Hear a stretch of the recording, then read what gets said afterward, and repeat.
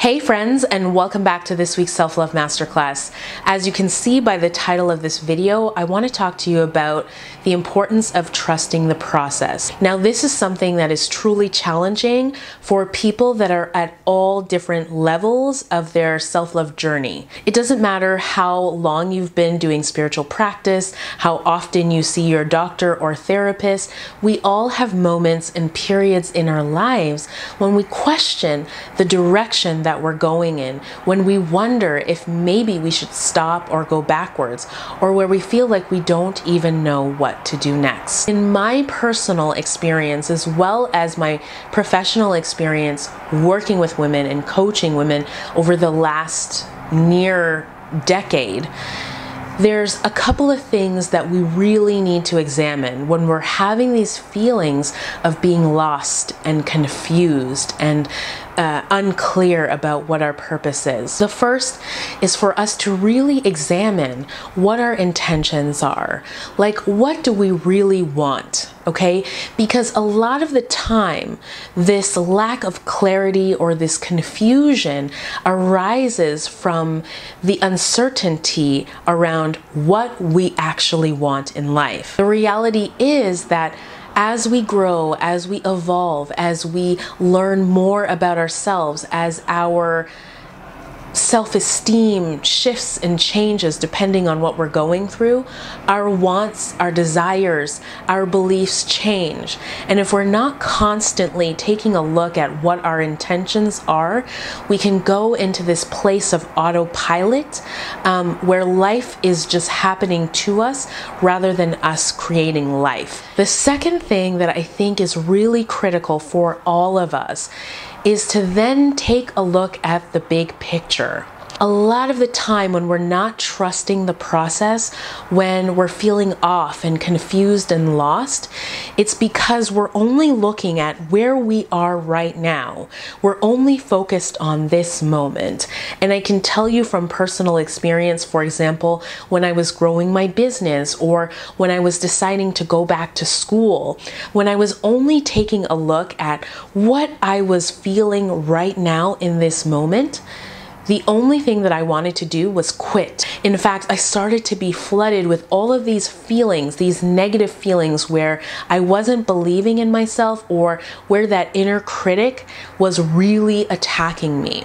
If you've been feeling a little bit lost or confused, ask yourself right now are you focusing on the big picture or are you only dealing with the crisis that is immediately in front of you? It can even be another kind of setback, nose in your face, or people not believing in you, or feeling like you're going through this expansion expansion where you're changing friends or changing locations or environments. You know, these things are really, really hard and sometimes painful. It can even be a breakup. Like for most people, they start to question and doubt the process when something that feels painful or something that feels uncomfortable happens. By really taking a look at the big picture, you're able to go, okay, this is what is happening to me right now, but I firmly believe and know that this is all a part of the process and this is happening for a reason. There's actually a lesson here I'm meant to learn so that I can apply it to the overall thing, the overall goal, or the overall dream that I am committed to. If we can move away from this need for instant gratification or this this need to only just get ourselves out of the pain, the, the, the feelings of loss, grief, confusion, whatever we're going through, and we can ground ourselves in that big picture, that it doesn't matter how many setbacks we encounter. It doesn't matter how many times we fail. It doesn't matter how many no's we encounter. It doesn't matter if people don't believe in us. It doesn't matter if we lose friends that possibly were no longer meant to be in our life. It doesn't matter what kind of challenge or adversity comes our way. We are able to get back up again and put the next foot forward on our path. No one said that a self love journey would be an easy journey.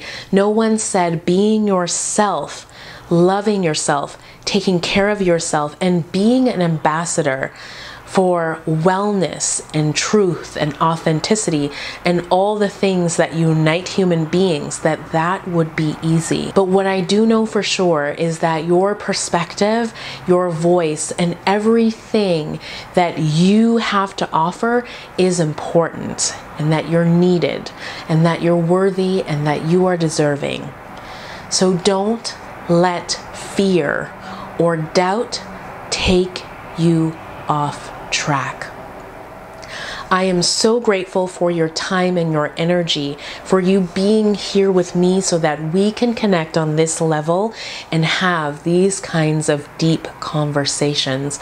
I hope that it has been transformational for you and meaningful for you, and that when you leave this video, you will go and do something loving and beautiful for yourself and for others. If you have not already subscribed to this YouTube channel, definitely do that. If you're new to this channel, check out the other videos and the other playlists. Make your own playlist. You know, do whatever feels right for you so you can just keep getting the self-love message into your bones. If you're not already following me on Instagram, come over and do that. We've got like 11,000 hardcore people who believe in self love and are supporting each other there. And I post there every single day. All right, until we see each other next time, stay true to yourself and don't you forget that we are in this together.